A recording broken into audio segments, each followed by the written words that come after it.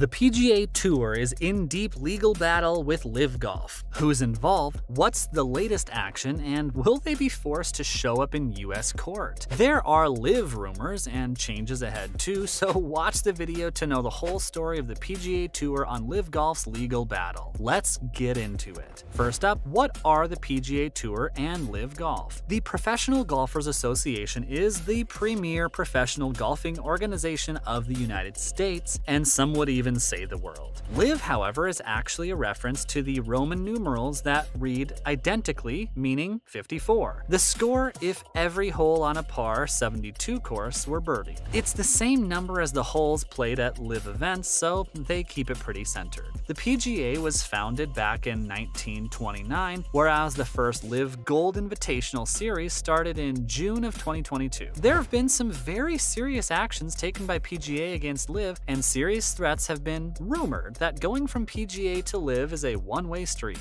with players barred from returning to PGA play after participating in any LIV event. They have a strategic alliance with the MENA Tour, and that's where a lot of current troubles begin. Now, what's the PGA Tour alleging about LIV Golf? Per filed documents in the ongoing legal conundrum, LIV Golf is faced with PGA Tour alleges that Saudi Arabian bankrollers of the LIV Tour have refused to respond to court summons in the United States, claiming they lack jurisdiction over them. PGA Tour alleges the Public Investment Fund of Saudi Arabia and its lead exec Yasir Al-Rumayyan have refused to produce documents or give a deposition after accepting court subpoenas. This risks putting them in a contempt of court, a very serious offense. PGA is alleging that LIV and their backers are claiming to be above legal authority of the United States and their judicial system. LIV is notable for a series of high profile, wealthy backers, including strong support from former U.S. President Donald Trump. The lawsuit was filed in the U.S. District Court for the Southern District of New York. It's really going after the Public Investment Fund directly while bypassing the LIV Golf organization itself directly. The governor of the fund, Yasir Othman Al-Rumayyan, is reported to be worth more than $500 billion.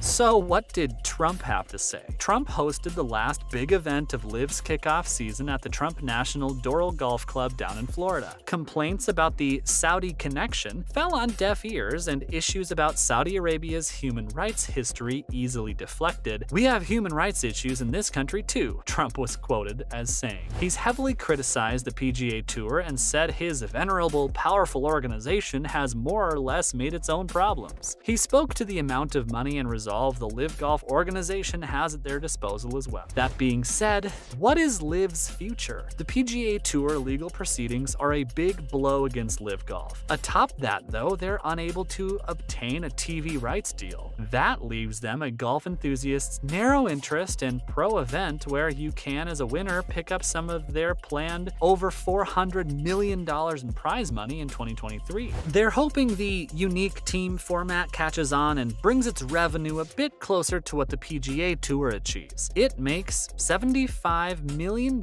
in its first year of revenue, whereas the last tour season for PGA brought in $1.5 billion.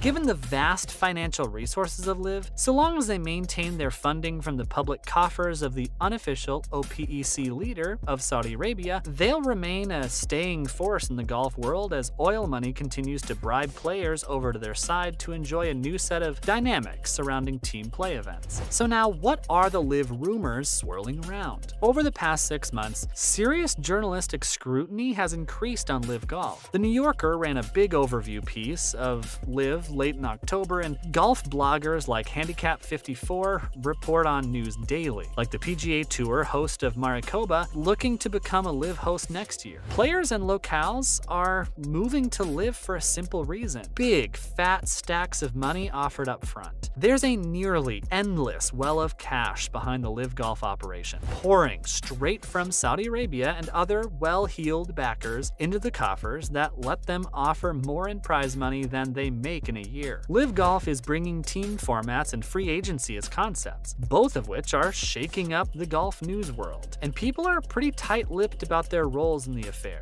Consider Brooks Koepka, who denied moving over to LIV at the US Open literally days before he did, in fact, move over to them. Lots of players are keeping silent, but even when they don't, they'll sometimes just lie. Fact checking is split between bloggers and the odd specialty sports piece. This gets spotty. Jon Rahm had rumors swirling he'd already signed on with LIV, and a Twitter account called LIV Golf Insider confirmed this. Then Jon Rahm himself responded saying it was fake. But do we have any juicy rumors about who's going over to LIV? The fourth in the world, Patrick Cantlay, has been linked with LIV since his inaugural event, as he admitted he'd been very tempted by their lucrative offers. He walked it back at the Rocket Mortgage Classic, but he's clearly oscillating. The Guardian reports he and Xander Schauffele are the biggest on the wish list for LIV. Xander Schauffele, speaking of, is hunting for a major win. He received what he described as an obnoxious offer from LIV back in June, so he went all in on PGA Tour. But LIV has seen his value and are likely to be pumping up the offers soon. After all, we've heard that they have